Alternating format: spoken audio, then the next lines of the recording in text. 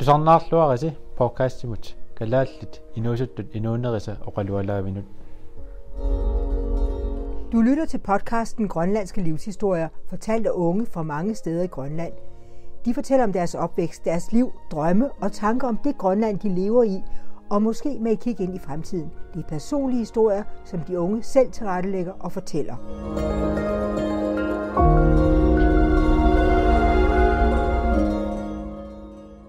En dag fik min klasse besøg af to kvinder fra grønlandsk livshistorie. De ville lære os at lave podcast, og så bedte de os om at lave vores egen podcast. Jeg valgte at lave en podcast om min mor og min klasselærer, som begge besluttede sig at flytte fra Danmark herop til Grønland. Jeg håber, I kan lide resultatet. Da jeg var 24, der havde jeg ikke lavet andet end at gå i skole. Jeg havde først været gået i folkeskolen, og så havde jeg gået på universitetet. Handelsskolen og bagefter universitetet. Så jeg vil gerne ud og opleve verden og prøve noget nyt og noget spændende. Og min far havde været soldat i Grønland engang han var ung.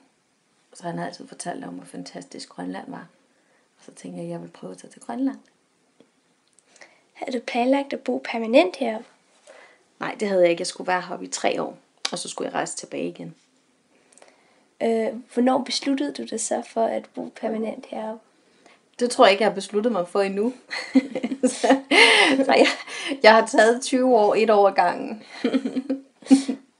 øh, hvordan var det at skifte land? Var det, er det noget, som du savner for Danmark?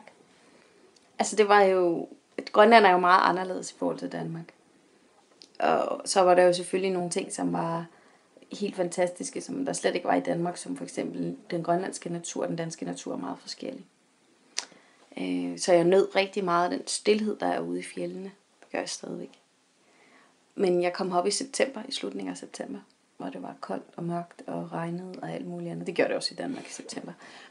Øh, men da man så kom hen til maj, så i Grønland er maj en rigtig, rigtig trist måned, og i Danmark der er det en helt fantastisk måned med fugle og blomster, der spiger, og alt er grønt og dejligt og sådan noget. Så det savnede jeg meget. Hvad var dit første indtryk af Grønland, og hvorfor? Altså jeg tror, hvis, øh, hvis jeg havde kunnet, så tror jeg, jeg havde taget en flyver på vej hjem, fordi det allerførste indtryk af Grønland, det var, at det var helt mørkt og koldt og regnede, og jeg kom lige fra Kreta, så jeg kom for noget, der var meget varmt og dejligt, og så kom jeg herop, hvor det bare var mørkt og koldt og regnede, og der var slud. Og jeg havde kun sommertøj med. Alt mit vintertøj lå i min bagage, som jeg fik nogle måneder senere. så det var, det var rigtig trist. Mm. Hvor boede du sådan først, og hvad var dit første job? Jeg blev ansat som revisor. Jeg havde været nyudlært revisor. Øhm, og så blev jeg ansat som revisor nede i Deloitte. Og jeg boede ude i noget, der hedder Mangua, som ligger meget tæt på Migisov. Børnehaven Migisov. Fik du nogle nye hobbyer heroppe? Nej, jeg tror ikke rigtig, jeg har fået nogle nye hobbyer. Øhm, de hobbyer, som jeg har dyrket heroppe, har næsten været det samme. Øh, inden jeg kom til Grønland, dyrkede jeg meget aerobics. Det kunne man ikke rigtig gøre heroppe. Så i stedet for, så begyndte jeg at løbe meget, og løbe i fjellene og sådan noget, som jeg ikke havde gjort i Danmark. Jeg cyklede også meget i, i, i Danmark, og det var noget sværere i Grønland at cykle, end det var i Danmark. Så jeg ved ikke rigtig, om jeg fik nogle nye, men det var måske de samme, bare på en anden måde. Mm. Så det var alt, hvad jeg havde. Okay. Så hvor gammel var du, da du øh, rejste herop? Der var jeg 27. Det var i 2009 i hvert fald. Ja. Mm. Øh, hvorfor fløj du herop til Grønland? Jamen, øh, det gjorde jeg, fordi jeg havde en kæreste i Danmark, øh, som tog herop. Og, øh, og så fulgte jeg egentlig bare med. Det var svært at få... Jeg var lige ved at være færdig som lærer i Danmark. Og det var ret svært i 2009 at få job som lærer i Danmark. Der var ikke ret mange jobs at få. Øh, og så jeg fulgte efter ham. Øh, og så, øh, så tog jeg herop og, og, og fik så et job her på friskolen, øh, inden jeg kom herop. Øhm, så det var derfor, jeg tog herop. Mm. Så altså, da du rejste herop, har du så planlagt at sådan bo her for resten af dit liv, og så være lærer? Øh, jeg var meget åben over for at blive. Jeg tog mine ting med herop i en container. Jeg havde stadigvæk nogle ting i Danmark, men dem, øh, dem øh, fik jeg ryddet op i øh, de efterfølgende år. Mm. Hver gang jeg var i Danmark, så var jeg nede og lige rydde lidt op i de her ting. Øhm, så, så jeg var, jeg havde godt fået at vide det der med, at man nogle gange, øh, altså jeg havde fået at vide, at det godt kunne hjælpe det der med at tage sine ting med, hvis man gerne vil være heroppe, fordi at det er svært at være et sted, og så være på vej væk også. Så jeg var her. Jeg var meget dedikeret til at skulle være her.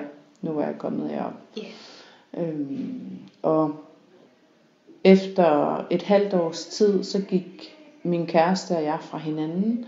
Og så var der jo nok nogen i Danmark af mine veninder og min familie, der tænkte, yes, så kommer, så kommer hun hjem igen. Men, men det var jeg slet ikke, øh, det var slet ikke en mulighed for mig at tage tilbage til Danmark.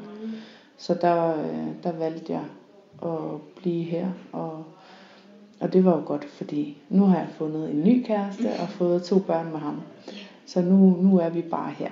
Ja. Øhm, så sådan dit, hvad, hvad var det dit første job? Var det sådan her, og var det sådan at være læge her? Ja, øh, mit første job var, at jeg skulle være klasselærer i en tredje klasse her på skolen. Så det var, det var mit første sådan rigtige job, efter jeg var færdiguddannet som lærer. Og, øh, og nu har jeg snart været her på skolen i 10 år, øh, og det samme her i Grønland i 10 år. Mm. Mm. Hvor boede du så henne først? Øh, jeg har boet forskellige steder i byen. Jeg har boet øh, inde i Midtbyen, øh, to steder, og så nu bor jeg herude tæt på skolen ude i, i Nusser. Øh, og der har jeg boet i måske 8 år eller sådan noget, så det, der har jeg boet ret lang tid efterhånden. Hvordan var det egentlig at skifte land? Var det sådan, er der sådan noget, du savnede, eller er der noget, du savner stadig? Det var specielt at skifte land, fordi at det er jo selvfølgelig anderledes. Og man, jeg har skulle vende mig til øh, vejret, og vende mig til at have noget andet tøj på, øh, når man er her. I Danmark så handler det meget om at være smart Øh, når, altså i forhold til ens øh, jakker og udendørs tøj. Og heroppe, der handler det meget mere om at være praktisk og om ikke at fryse. Yeah.